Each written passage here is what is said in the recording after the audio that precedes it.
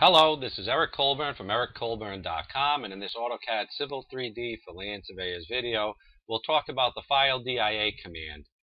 The File DIA command turns on and off the display of dialog boxes that deal with files such as the Open Dialog box. So um, normally you do a save as or an open drawing command and the dialog box opens up where you can navigate to files on your computers to either save or open a file. But occasionally, uh, and usually this happens when there's been a, a crash of the program, for whatever reason, I'm not sure why, but file DIA gets set to zero, which turns off that option to have the dialog boxes open. So for instance, and I've turned it off right now, so I'm going to, uh, I've typed in at the command line save as, I'm just going to hit enter. And you'll notice that no screen showed up with navigation of where to save this drawing as. But what you can see at the command line is it wants me to manually enter the, the format of the drawing.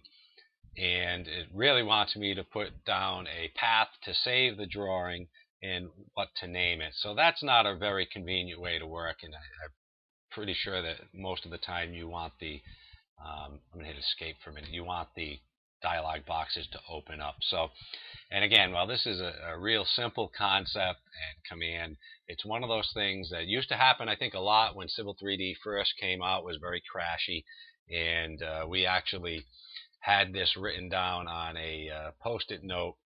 So we'd always, you know, say, oh, what was that command? And we'd go grab the post-it note and uh, AutoCAD Civil 3D, hopefully for you, for me, hasn't been crashing as much anymore. And uh, I think in uh, cleaning up the office, the little post-it note got thrown away. And sure enough, the other day, uh, AutoCAD Civil 3D 2013 crashed on me. I went to open up uh, another drawing afterwards to work on and did a save as and no dialog boxes. And it took me a couple of seconds to remember what was that command. So again, simple command, but hopefully it helps you out in this. So what I'm going to do is type in file. I can spell it right, D-I-A, F-I-L-E-D-I-A. And you'll see it says at the command line, enter new value for file DIA, and it tells you in brackets that the current setting is 0, and so we want to switch to 1.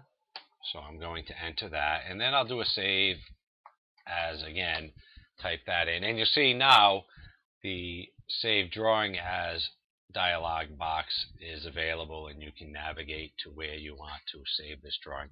Same thing if you were doing an open for a, new drawing. So if you've ever had it where your uh, dialog boxes for opening and saving drawings disappears, that's probably what happened is the file DIA got set back to zero from one.